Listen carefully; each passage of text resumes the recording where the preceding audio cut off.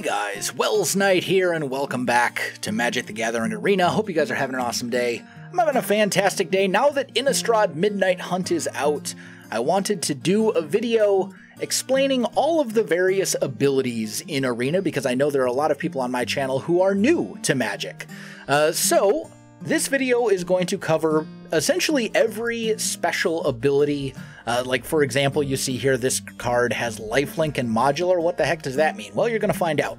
Uh, as for the abilities we're going to cover, we're only going to talk about the stuff that is in standard uh, which would be the five to eight most recent sets that have been released and that rotates once a year. We're not going to be talking about the stuff in Historic, which is every set that has ever been released since Magic the Gathering Arena came out, because to be honest, if we covered Historic, this video would be like two hours long. So I'm just going to do the stuff in Standard, and that's why I wanted to wait for Midnight Hunt to release before I did this video. Uh, so without further ado, let's go ahead and just jump straight into it. I'm going to cover the evergreen abilities first. Those are abilities that will appear in every single set and that aren't uh, unique to the set that they're com- that, uh, that the creature or the whatever card it's in is from.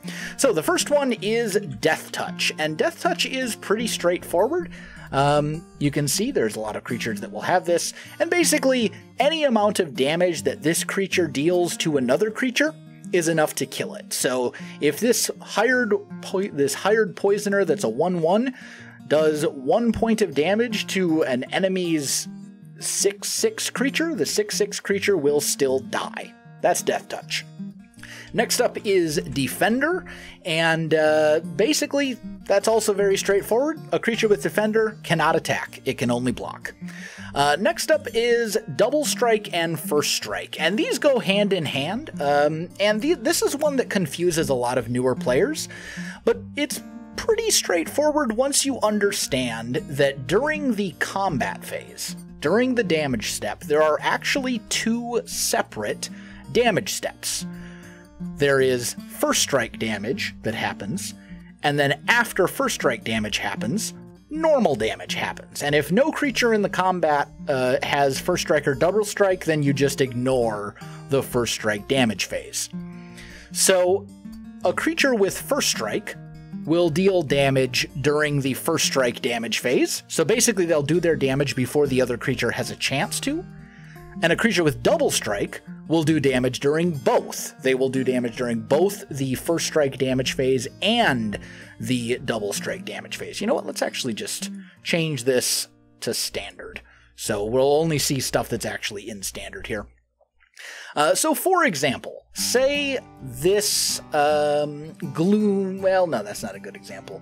Let's say this blink dog, this 1 1, which has double strike, uh, is fighting uh, another 1 1. Just a normal 1 1 that, say, doesn't have any abilities. Uh, and basically, what would happen is the Blink Dog would deal damage first during first strike, the other creature would not get a chance to. Pretty straightforward. Uh, if it had first strike, same thing would happen. Now, if two creatures that have first strike or double strike fight, they will deal their damage simultaneously. So if this uh, Blink Dog and this core blade, this Kor Blademaster here were to fight, they would kill each other because they're both able to deal damage during their first strike damage phase, and they're both one ones, so they would wipe each other out. And that's first strike, double strike in a nutshell. They go hand in hand. First strike, you deal damage during the first strike battle phase. Uh, double strike, you deal damage during both the first strike and regular damage phase. So that's that's first strike and double strike. Next up is flash, and flash means that you can cast the spell at instant speed. So a creature with flash you can play during your opponent's turn. Uh, it's great for ambushing opposing creatures. They declare attacks, you flash in something that can block, and you surprise them or uh, certain enchantments might have flash as well, like Howl of the Hunt here. You can flash it in, and uh, it's an enchantment that can buff up one of your creatures. Um, basically, flash just means you can play the card at instant speed, even though it's a card type that normally would not be able to. Uh, next, we have flying, and flying is again very straightforward. A creature with flying can only be blocked by another creature with flying, uh, or a creature with reach. We'll talk about reach later. So it can basically fly over your opponent's creatures and get in for damage uh, unless they have uh, a flyer of their own. Then we have Haste, and haste creatures do not suffer from summoning sickness, so they can attack or use tap abilities on the turn that they enter the battlefield. After that, we have Hexproof.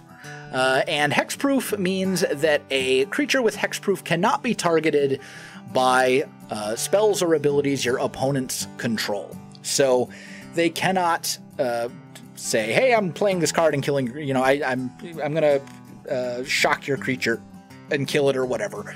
Uh, it can't be targeted by your opponent. However, it should be mentioned that uh, it does not protect against effects that don't target.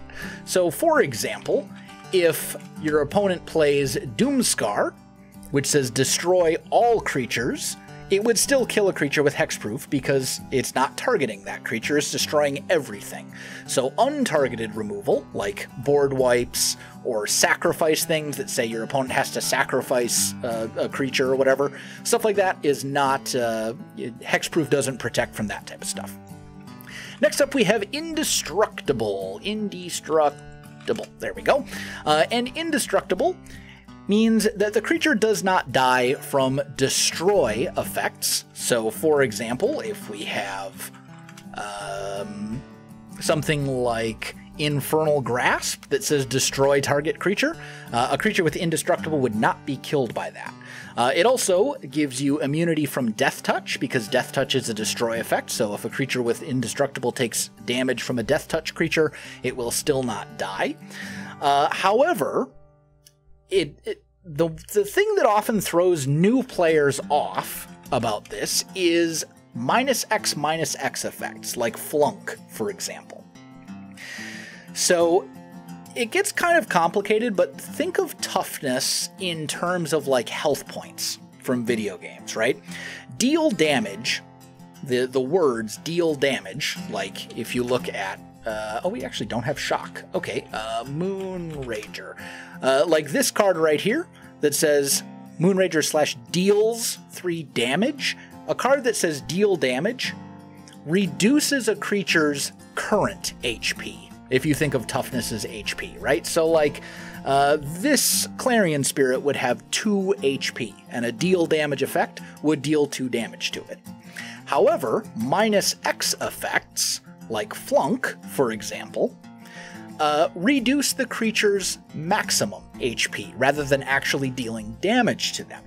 So if you were to give Clarion Spirit minus 2 minus 2, it would then have zero maximum HP. So it would essentially just cease to exist, which means that a creature with indestructible can still be killed by minus x minus x effects. So if you if they're hit with something your opponent controls that um, that reduces their toughness rather than actually dealing damage to them, they will still die. Toski would still die from a minus X minus X effects, and that's one reason that minus X effects are so powerful, is they can get around indestructible creatures. Uh, so there's a couple examples. If your opponent has like a 3-3 indestructible creature, and you cast uh, Crippling Fear, right? It gets minus 3 minus 3, therefore its maximum toughness becomes 0, and it ceases to exist because its max HP is reduced to zero. Now, on the other hand, if your opponent has, say, a 5 5 and you cast Crippling Fear, it then essentially becomes a 2 2 indestructible creature. So if you cast something like Shock to deal 2 damage to it, it's then a 2 2 indestructible creature that's taken 2 damage, which does not kill it because it's indestructible and can't die from damage. So that's kind of, I know it's kind of a long winded explanation, but uh, especially with the, the way that Arena displays damage, this is one of those things that really throws new players for a loop. So just basically keep in mind that uh, uh, indestructible creatures are affected by minus X minus X effects like Crippling Fear, but are not affected by damage effects like Moonrager's Slash. Next, we have Lifelink, and Lifelink is, uh, again, very straightforward. A creature with Lifelink, any damage it deals, you gain that much health. You gain that much life. So if a 2 2 Lifelinker hits your opponent, you gain 2 life. If a 2 2 Lifelinker hits an opponent's creature, you gain 2 life, etc., etc. Next, we have Menace, and Menace means that a creature can only be blocked by two or more creatures at once. So if you have a Shady Traveler on the field and your opponent has one creature, they can't block it. Uh, because you need two creatures to block a creature with menace, or two or more. They can, you know, if you're setting up uh, double, triple blocks, whatever, to try and maybe take out one of your opponent's bigger creatures or something like that, uh, you can block a menace creature with three or four blockers if you really want to. But it can't be blocked by one uh, single blocker by itself. Next, we have protection from fill in the blank. And I don't know if this is technically an evergreen ability, but it does show up fairly frequently. So I'm going to call it an evergreen ability, even though I don't think it technically is. Uh, but if we look at some of these cards, protection from god creatures, protection from werewolves. If we get out of standard and we look at historic, uh, there's even more. You'll have stuff like uh, Archon of Absolution that says protection from white, protection from humans. What the heck is protection? Well, a, uh, a creature that has protection from something cannot be damaged, enchanted or equipped, blocked, or targeted by spells of whatever type they are protected from, including your own spells. It does not provide immunity from untargeted, non damage effects like Doomskar, that would say, you know, destroy all, uh, or crippling fear that says all creatures get minus X minus X.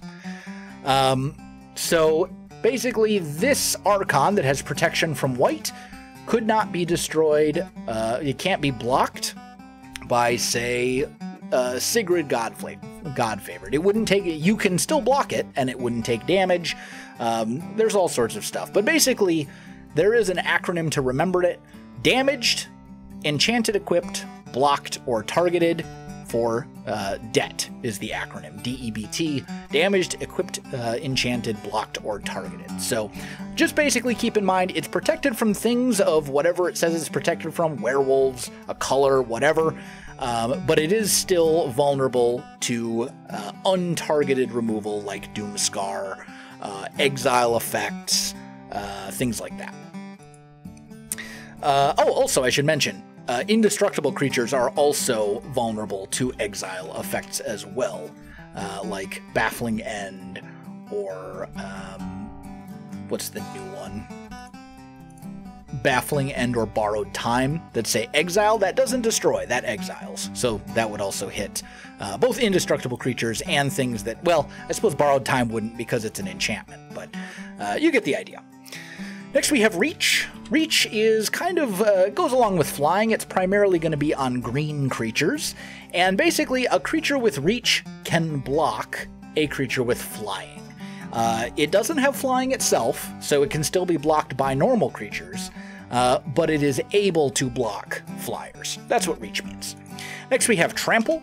Trample is uh, an ability that basically says any excess damage you deal to an opponent's creature is dealt uh, as damage to your opponent's life. So if a 5 4 Trampler attacks a 2 2 Hailstorm Valkyrie, it does 3 extra damage, and your opponent would therefore take the extra damage, so they would lose 3 life if, uh, if the Hailstorm Valkyrie blocks the Mounted Dreadknight. Hope that makes sense. Next, we have Vigilance, and Vigilance means that an opponent uh, or a creature with Vigilance does not tap when it attacks. So you can attack, essentially attack and block on the same turn cycle.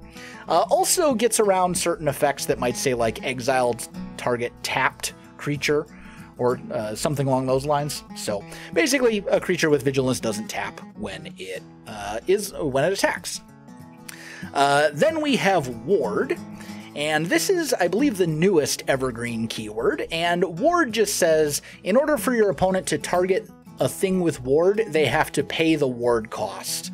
uh, to do that. So, for example, this Rimeshield Frost Giant has Ward 3, so if your opponent were to target the Frost Giant with something, they would have to pay th- an extra 3 mana to do so. Or you could look at something like uh, Westgate Regent here, where the ward cost is discard a card. So if your opponent wants to target the Westgate Regent with an effect, they have to discard a card to do it. And it's important to note that they have to pay the discard cost and then their thing happens. So what you can do is basically wait for them to pay the card, and then if you have some sort of a response to it, uh, you can take advantage of that. Okay, so those are the evergreen keywords. Those are the ones that you will see in basically every set going forward. Uh, now let's get into the set specific stuff, and we'll look at Kicker first from Zendikar. This is again not an evergreen keyword, but it's a fairly common one. You do it has been in previous sets. I forget exactly which ones, Ixalan maybe. Um, so it's a returning keyword, but basically kicker means that you can pay an extra cost when you cast the spell, and then you get some sort of additional effect. So, like this spell shield, for example, it's normally one blue, but you can pay an extra one to give uh, the creature that you're casting it on hexproof as well. Or uh, Bloodchief's Thirst. It's one black mana to destroy a target creature or planeswalker with mana value 2 or less, but if you pay an additional 2 generic and a black, you can destroy any target creature or planeswalker, not just one with mana value 2. So that's basically Kicker in a nutshell. Pay an extra cost, get an additional effect, or an upgraded effect, depending on the card. Next, we have Landfall. And Landfall is uh, whenever a land enters the battlefield under your control, something happens. So, Felidar Retreat, this enchantment, whenever a land enters the battlefield under your control, you can create a, a cat token or you can put a plus one plus one counter on each creature you control. Uh, Lotus Cobra, when a land enters the battlefield under your control, add one mana of any color.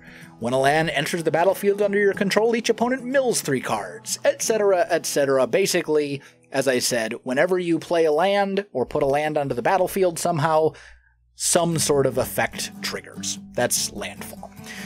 Moving on to Kaldheim, we have Boast, and Boast is an ability that says when this creature has attacked on this turn, uh, you can pay the Boast cost and trigger some sort of effect.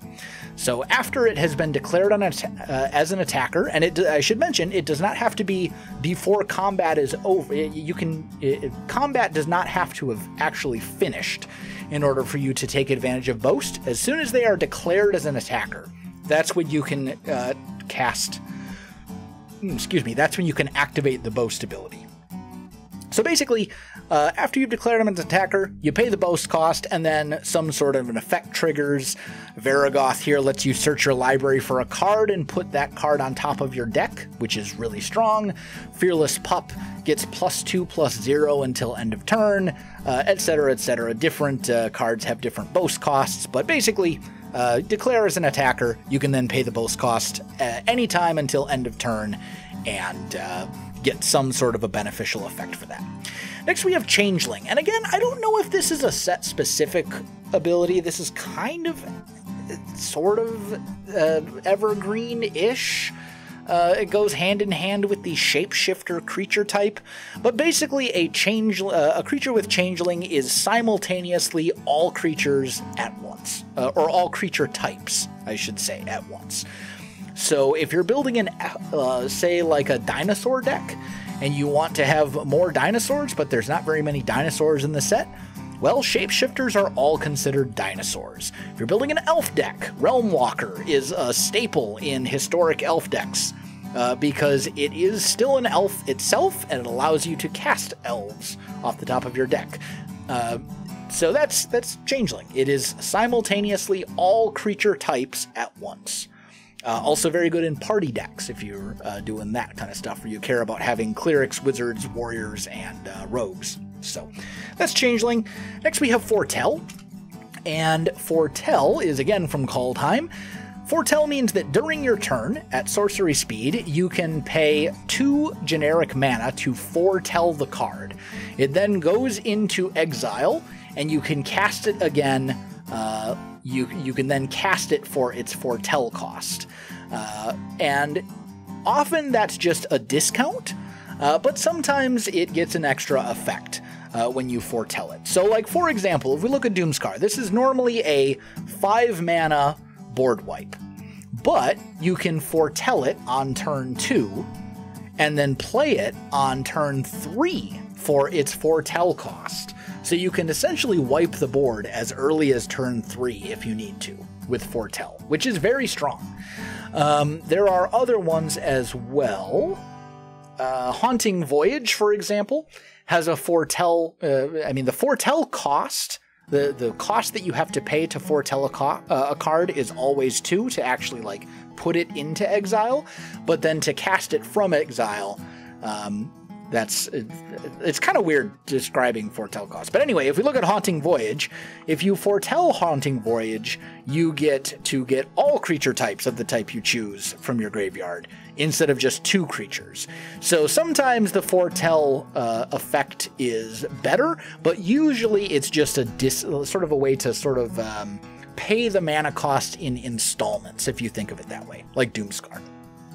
Uh, I should also probably mention foretelling a card, uh, you can't cast it on the same turn that you foretell it. You can cast it on the following turn during your opponent's turn, but you can't cast it on the same turn. So you can't foretell a card and then cast it right away. Uh, so that's Kaldheim. Moving on to Strixhaven, we have Crew, and this is another uh, keyword that we have seen many times before, but this goes with vehicle cards, and Crew means that you can tap uh, any number of creatures you control with total power equal to the crew cost or more. So this Raiders' Karve has a crew cost of 3. That means you would need to tap creatures with power 3 or greater. This Esika's Chariot has a crew cost of 4. That means you need to tap creatures with total power 4 or greater, etc. What then happens is the vehicle then turns into a creature until the end of turn. So that's that's instead of being an artifact. That's crew. Uh, next, we have Learn, and Learn is kind of uh, an interesting one. This is unique to Kaldheim, or I'm sorry, this is unique to Strixhaven, I believe. When you learn, you can reveal a lesson card from outside the game, which in arena terms means from your sideboard, and put it into your hand. So there's a bunch of uh, learn cards in Strixhaven. You can see them all here. And then you can go and essentially fetch lesson cards from your sideboard, uh, your sideboard, and put them into your hand. And there's a bunch of lesson cards as well. So it's a kind of an interesting take on uh, tutor effects. I, I like it. It's sort of unique. Next, we have Magecraft. This is again Strixhaven, and Magecraft basically just says whenever you cast or copy an instant or sorcery spell, something happens. Prismari Pledgemage can't be blocked. Uh, Symmetry Sage gets uh, gives target creature you control base power 2 until end of turn. Dragonsguard Elite gets a plus 1 plus 1 counter. So it, it's going to be different with every creature, but Magecraft basically just says whenever you cast an instant or sorcery spell, trigger an effect of some kind.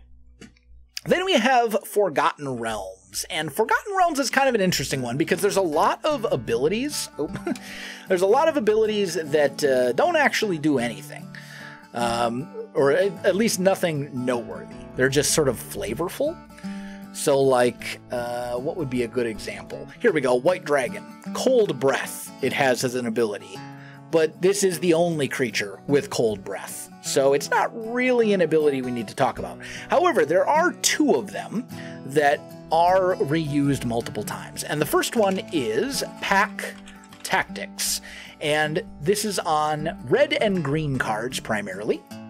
And it says whenever you attack with total power 6 or greater, including the card that's attacking, uh, you trigger an effect. So, Werewolf Pack Leader, if it attacks and you've attacked with total creature's power, uh, total power 6 or greater, you get to draw a card. Hobgoblin Captain gets First Strike. Targnar gets um, gives plus 1 plus 0 to all creatures that are attacking. Battlecry Goblin generates a goblin. That's pack tactics. Basically, if you're attacking with 6 total power or more, you trigger an effect. Next, we have Venture into the Dungeon, and this is in basically all colors, I believe, from Forgotten Realms. But whenever you venture into the dungeon, you choose, when you do it for the first time, you choose a dungeon, and there are three dungeons to pick from the Dungeon of the Mad Mage, the Lost Mine of, Fan, uh, of Phandelver, and the Tomb of Annihilation. So the first time you venture, you choose the dungeon and you do the thing at the top of the dungeon card. So Tomb of Annihilation, each player loses one life. Dungeon of the Mad Mage, you gain a life. Lost Mine of Phandelver, you scry one, etc., etc. The next time you venture in the dungeon, you uh, you advance in the dungeon that you picked. So, say we chose the Lost Mine for the first one, we get to scry one the first time we venture. The second time we venture, we can choose to either create a 1 1 goblin, goblin creature token, or we can create a treasure token. The time we venture after that, if we went into, eh, if we did the goblin lair, the next time we venture afterwards, we can either put a plus one plus one counter on a creature, or each opponent loses one life and you gain a life. So basically, you're you're advancing your way through the dungeon. You pick a dungeon, you work your way through it each time you venture, uh, and then eventually you complete the dungeon. And once the dungeon has been completed, the next time you venture, you get to start over and choose a new dungeon, or you can choose the same one. So basically, just think of it this way the first time you do it, you choose a dungeon, you work your way through that dungeon, and then you repeat the process. Each time you venture, uh, you advance your dungeon crawling in some way, shape, or form. So that's venture. Now we get into Midnight Hunt, the new and recent stuff. And the first one I want to look at is Coven, uh, which is in Midnight Hunt. Here we go. And Coven basically says at the beginning of your, uh, at the, or well, it's not always end step. Coven basically says if you have three different creatures with different power, you get to take advantage of the effect. So, for example, Duelcraft Trainer, at the beginning of combat on your turn, if you control three or more creatures with different powers, and by powers it's talking about power toughness, not, not ability, uh, target creature you control gains double strike until end of turn. Sigarda here. Whenever Sigarda attacks, if you control three or more different creatures with different powers, look at the top five cards of your library, reveal a human, and put it into your hand. So basically, it's an ability that says, hey, we care about having different creatures with different power, you know, three different creatures uh, with different powers on the board, and then we get to take advantage of this effect, whatever it may be. So that's Coven. Next, we have Daybound and Nightbound, and these go hand in hand.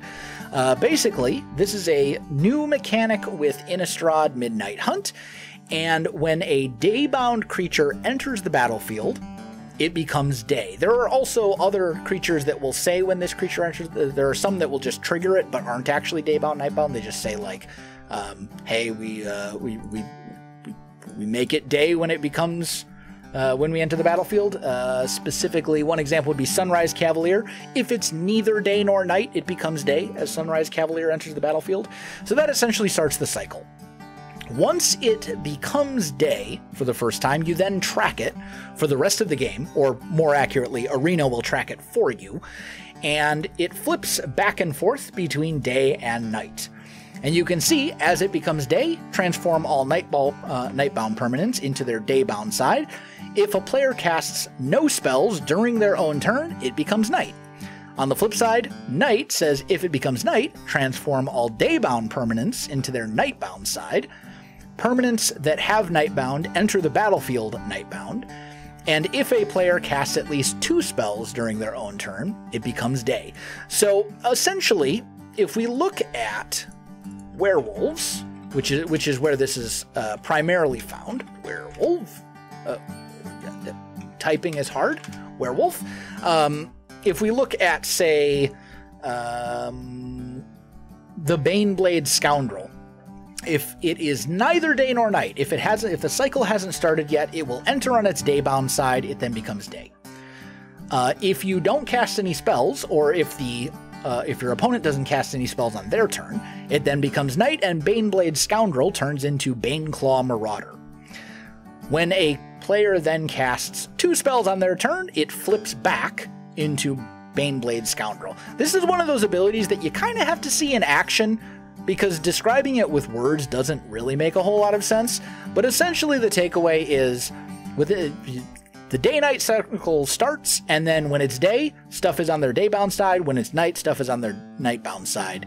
And the way that it flips back and forth is in order for it to become night, uh, a player casts no spells during their turn, and in order for it to become day, uh, a player casts two spells during their turn, and it flips back and forth. So that's Daybound Nightbound. Next we have Decayed, and this I don't believe is actually on any creatures itself, um, but this is for the new zombie tokens in Midnight Hunt. Uh, a creature with Decayed uh, gets sacrificed after it attacks. So if you attack with a decayed zombie, uh, it will be sacrificed at the end of combat. That's what decayed means. Uh, next, we have Flashback. This is again uh, a returning ability. Uh, and you know what? I'll probably mention Disturb here as well, because they're very similar. Disturb uh, says that when a creature dies, it ends up in the, the graveyard, and then you can cast it again for its Disturb cost, and it becomes its transformed side. So, looking at Mourning Patrol here, uh, the creature is normally a 2 mana 2 3 with Vigilance. After it dies, it goes into the graveyard. You can then cast it again for 4 mana to turn it into Morning Apparition. Malevolent Hermit starts out as a 2 mana 2 1 after it dies and ends up in the graveyard, you can cast it for 3 mana to turn it into Benevolent Geist. And then with all disturbed creatures, after they die a second time, after their transformed side dies, they get exiled instead of going back into the graveyard again. Uh, kind of tagging along with that, we have Flashback, which basically just says you can cast the card from your graveyard again for its flashback cost, but it doesn't transform into anything. That's the difference. Uh, so basically, you just get to cast the card a second time. If we look at Homestead Courage, one mana for a plus one plus one counter and give it vigilance until end of turn, and then you can do it again uh, a second time. So that's flashback, uh, and then after you do it the second time, it gets exiled. Uh, so you can't just repeatedly play it forever, over and over and over again from the graveyard. So that's basically all the abilities. I still want to touch on a couple of very specific, sort of important keywords that you should probably know if you are a new Magic player. The first one is destroy.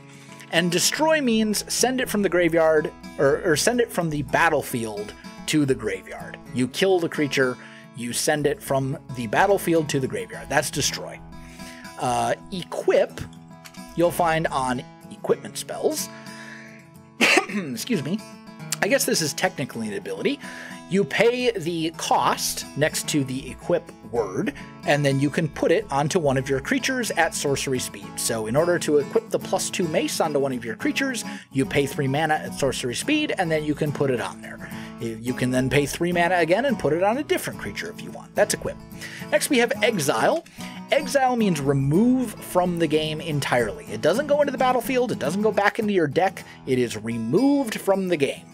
Uh, and think there are technically a couple cards that will allow you to get stuff back from exile, but they are very few and far between. Uh, so generally, when you exile something, it is gone for good. Uh, then we have Mill, you will see this. Uh, each opponent mills eight cards or mills three cards. That means you put that many cards from the top of your deck into your graveyard. So, mill, pretty straightforward. We have scry as well. Scry means you look at that many cards, and then you can either put them uh, on the bottom of your deck or uh, or back on top in any order. So if you scry, say for Silver Raven. You scry one. Basically, when it enters the battlefield, you get to look at the top card of your deck. You can decide if it's useful, and then you can either put it back on top of your deck or you can put it on the bottom of your deck. Uh, so it's a way to sort of filter cards. If you have Scry 2, you would look at the top two cards of your deck you could then put them back in any order, or you can decide these are both junk, I want to put them both on the bottom of my library, or maybe you decide one of these is good and the other one is terrible, so I'll put one back on top and one on the bottom. That's Scry. Very similar to Scry is Surveil, which isn't technically in this. Uh, it's not an evergreen keyword, although they should really just make it uh, one. Uh, so if we look at uh, what's a good example here? Um, here we go. Consider. look at the top card of your library, you may put that card into your graveyard. So it's basically the same as Scry, except instead of having the opportunity to put it on the bottom of your deck, you would put it into your graveyard instead. That's Surveil. It's technically not a keyword, but it is from older sets, and people will call it Surveil. Then we have Snow Mana. Um, you will see on certain cards a little symbol that looks like this. That's probably a bad example because I've got a special card thing for that one. Uh, let's just look at Faceless Haven. Here we go. So, Faceless Haven, you can see this little sort of snow symbol right here. That means snow mana. You have to pay for it with snow mana, and you get snow mana from snow lands, um, such as snow covered plains, snow covered islands, the dual lands like Volatile Fjord or Snowfield Sinkhole. That's snow mana. Then we have Target, and Target is exactly what it sounds like. Uh, if an effect targets something, you are choosing the object of that effect. So, tap target creature, you choose which creature is being tapped. This is relevant because certain card, if if an effect targets something, it will almost always say that it targets something. And it's relevant for stuff like hexproof and ward that we talked about earlier that say uh, they can't be targeted or you have to pay an, an additional effect when targeting. Uh, finally, we have transform, and this just means that cards with one side transform into their backside. These are double sided cards. There's a bunch of them, especially now that we have Midnight Hunt out. Um, and they have two sides their normal side that they normally enter the battlefield on, and then their transformed side. And uh, transform just means you flip it to the backside of the card and it becomes the other one. So, yeah, I know it's a lot of information and it's a lot of stuff. Keep in mind, you can Google most of this stuff. You can look up stuff on the wiki uh, for Magic. There's a ton of information out there uh, for you know Magic the Gathering. It's a very old game with a lot of complexity, but there's also a lot of resources to help you learn it. Hopefully, you found this beneficial. If you enjoyed the video, you know what to do. Links in the description below, so check that out as well. Also, if you have any questions or anything uh, that I didn't answer, feel free to put in the comments, and I will do my best to uh, to help you out. Uh, but yeah, other than that, thanks for watching, and I'll see you in the next one.